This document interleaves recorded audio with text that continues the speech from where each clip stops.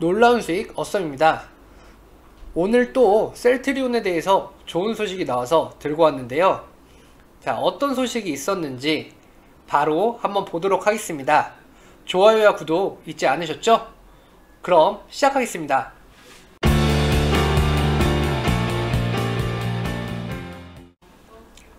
셀트리온 저번 주말에 제가 한번 영상을 올려드렸는데요.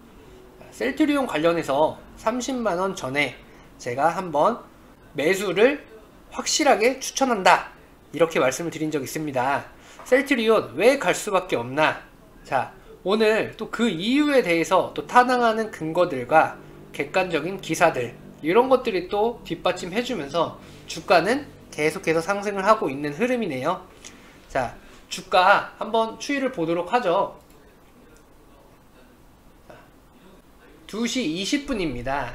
2시 20분 급등세가 연출이 되면서 32만 2천원에 대한 부분을 찍고요. 이때 다시 조금 지수가 빠지기 시작을 하면서 요, 요 부분에서 좀 하락을 했는데요. 지수는 금세 다시 반등을 하였고 결국 31만 8천원 구간에서 마무리를 한 모습이죠. 금일 어떤 이슈 때문에 주가가 갑자기 이렇게 올라왔나 한번 살펴보도록 하겠습니다. 우선 기사를 하나 먼저 보면서 설명을 드릴게요.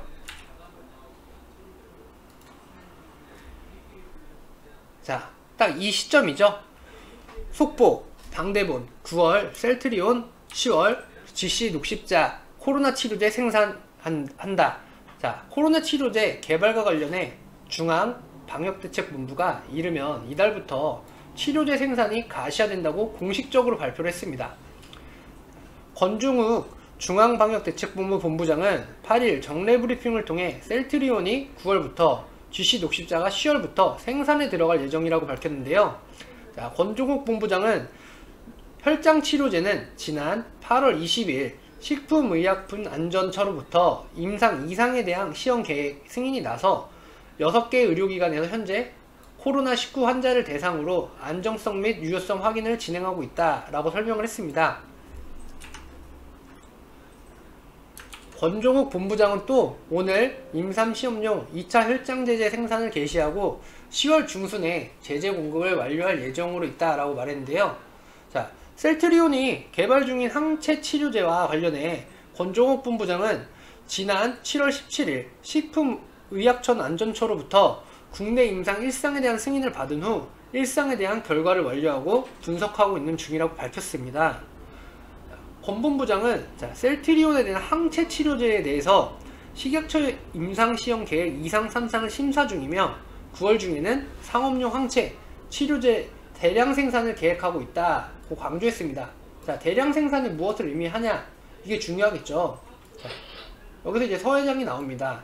서정진 셀트리온 회장은 7일 식품의약품안전처가 개최한 2020년 글로벌 바이오 컨퍼런스에서 현재 코로나 항체 치료제 임상 시험에 진입했는데 9월 말부터는 2상과 3상 진행하는 것을 희망한다며 2상에서 탁월한 효능 안정성이 확인된다면 연말에 긴급 사용 승인을 신청할 것이라고 말했습니다. 자, 늦어도 내년 5월 임상 3상이 끝날 것으로 보고 국내 필요 수량만큼 대량 공급이 가능하도록 이번 달부터 선행적으로 대규모 생산을 시작할 것이라고 설명했습니다. 자, 이번 달부터라는 게 가장 중요합니다. 그리고 다른 데가 아닌 셀트리온이 선행적으로 신, 생산을 할 것이다 라고 이제 얘기를 한 부분이 가장 크게 작용을 한 이슈라고 보시면 될 것 같습니다. 셀트리온 좋은 내용들이 많이 있는데요.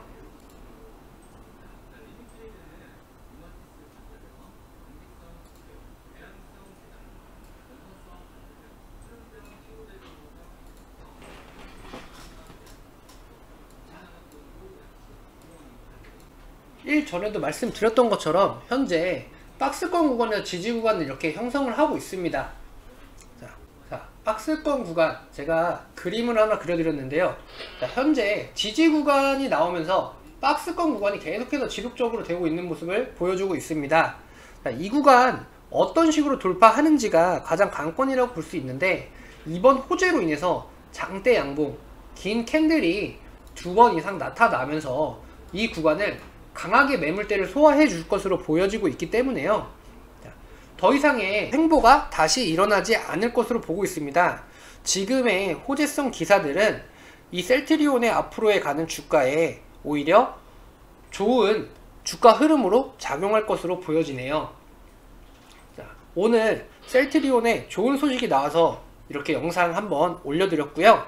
저희 어썸 투자 클럽의 정보를 원하시거나 희망하시는 분들은 아래 휴대폰 번호로 성함만 적어서 문의를 주시면 저희가 연락드려서 회원님들에게 도움을 드릴 수 있도록 하겠습니다. 오늘은 여기까지 진행하고 마무리하도록 할게요.